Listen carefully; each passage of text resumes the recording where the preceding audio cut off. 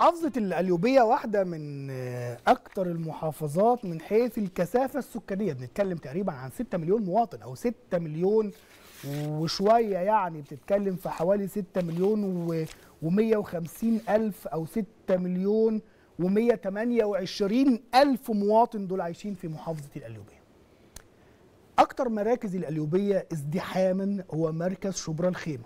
عدد سكان شبرا الخيمة لوحدها مليون ومئتين سبعة وخمسين ألف مواطن. طبعا سيادة اللواء عبد الحميد الهجان محافظ القليوبية اللي بقاله أربع سنين أو ثلاث سنين وشوية جاي بملف اللي هو ملف آآ آآ إزالة التعديات على الشوارع وتنظيف محافظة القليوبية أنا فاكر كويس جدا أول لقاء صحفي مع سيادة اللواء الهجان هتعمل إيه في القليوبية قال لك الشوارع كلها زبالة.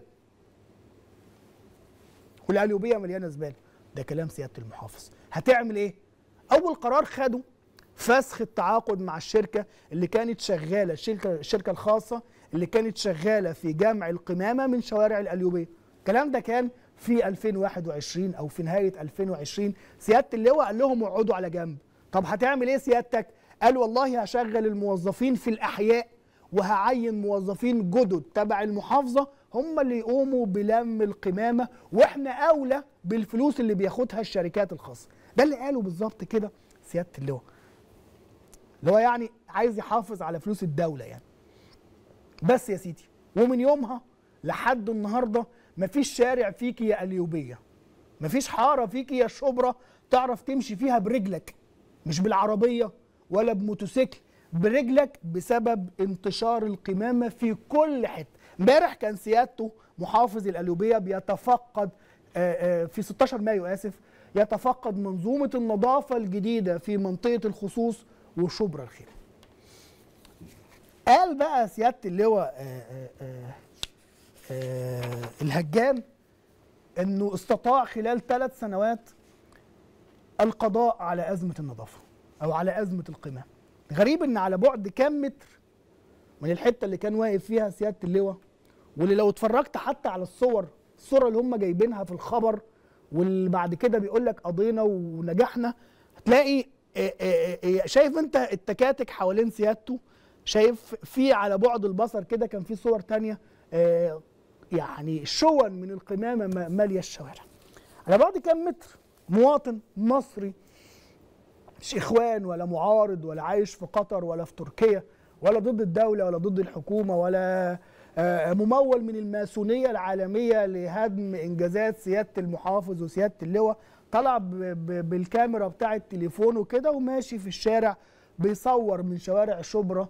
كيف وصلت شبرا بعد ثلاث سنوات من إنجازات سيادة اللواء المحافظ عبد الحميد الحجان؟ نتابع هذا الفيديو. السيد المسؤول. ايا كان نوعه بقى. دي منطقة اسمها شبرا الخيمه شبرا الخيمه هنا بقى الناس ماشية أكنك في الصومال مثلا. دولة من دول العالم السابع السابع ولا الثامن ولا بص المناظر ده دي في الشارع. ده في الشارع. بص المنظر. ده أنا كده جايب لكم الخلاصة بتاعت شبرا. يعني إيه إيه؟ الجزء اللي هو جزء يعني شبه كويس. شبه كويس. دي شبرا طبعا مناظر الله ما شاء الله يعني ما يتمشيش فيها. دي شبرا للي ما يعرفهاش. كمان ده الراجل يعني سايق عربية واضح فماشي في الشوارع الواسعة اللي ينفع يمشي فيها بعربية. شايف الطريق عامل إزاي؟ شايف ال ال ال البيئة اللي عايش فيها المواطن عاملة إزاي؟ شايف انجازات سيادة اللواء اللي ماشية شركة النظافة عشان يوفر ملمين يحطهم في جيب الحكومة. وصلت بالقليوبيه لفين؟ خبر بيقول لك ليل نهار آه القليوبيه أو كفر آه أو شبرا الخيمة انتشار كبير للقمامة على الطرق بحي شرق شبرا الخيمة. شرق وغرب ناس بتشتكي من آه انتشار الأمراض والأوبئة. الكلاب الضالة البعوض والذباب. الشوارع مقفولة يا اخوانا حرفيا يعني بدون مبالغة حرفيا. ما تعرفش تمشي دلوقتي في شبرا الخيمه حرفيا نموذج من نماذج فشل هذه الحكومة اللي حاصل في شبرا الخير شايف الشكل عامل إزاي؟ سيادته مشى الشركة اللي كانت بتنظف شبرا الخيمه سيادته جاب موظفين في الحكومة وحتى ما بيديهمش مرتبات فالمعينين في في المحافظة كل يوم عاملين إضراب ما بياخدوش مرتبات ومش عارفين ومفيش عربيات ومفيش إمكانيات ومفيش ومفيش ورغم كده بيحتفل بإنجازاته. شوف انتشار القمامة بيثير آه، غضب أهالي شبرا الخيمة. رئيس المدينة قال بنرفع آه، آه، 2000 طن يوميا. ناس بيردوا على سيادة رئيس المدينة بيقولوا له بيقولوا له إن شوارع زي شارع 15 مايو وأحمد عرابي والشارع الجديد ميدان المؤسسة الأماكن دي أصبحت غير مأهولة بالمواطنين لأنها محتلة من القمامة والزبالة. اللي زاد وغطى كمان البعض دلوقتي بينزل يلم الزبالة من الشارع ويولع فيها. ده بيؤدي أيضا لانتشار التلوث. فين بقى مؤتمر المناخ؟ فين البلد بتتحضر للأخضر؟ فين وزارة البيئة؟ فين وزير التنمية المحلية؟ فين سيادة المحافظ؟ فين شبرا الخيمة اللي غرقانة في القمامة؟ والمواطنين بيقول لك إن المسؤول آخر طناش. لا والله ده المسؤول مش آخر طناش ده المسؤول طلع ملكي أكتر من الملك نفسه. سيادة المحافظ أول يوم أول قرار قبل ما يشوف شكل المحافظة أو يدرس ظروف المحافظة قال لك لا افسخ يا ابني العقد.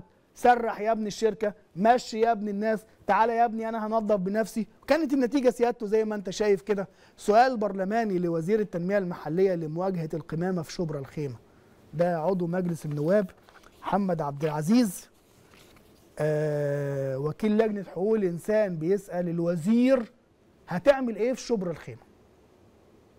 مش في الخصوص ولا لستة مليون مواطن في آه، آه، آه، ده ملي- مليون ومئتين سبعة وخمسين ألف عايشين في حتة صغيرة اسمها شبرا الخيمة وللأسف بيشاركهم الأرض أكوام بل جبال من القمامة. سابتها الدولة لحد ما بقت بتنقل الأمراض الحشرات الضارة بعض القوارض والفيران مالية الشوارع الناس بتحرق الزبالة والموضوع كمان وصل إنهم مش عارفين يمشوا. لا برجليهم ولا بالعربيات. أتمنى من السيد محافظ آه، القليوبية اللواء الهجان يقول لنا خطته ورؤيته إيه لحل مشكلة القمامة في شبرا الخيمة. وزير التنمية المحلية هشام أمنة يقول لنا عايز يعمل إيه في شبرا الخيمة. ست وزيرة البيئة تقول لنا رأيها إيه في اللي بيحصل في القليوبية وأهالي شبرا الخيمة ولا ده هنحطه ضمن خطة ورؤيه البلد 2030 وهو ده التخطيط في الجمهورية الجديدة اللي بيكلمونا عنه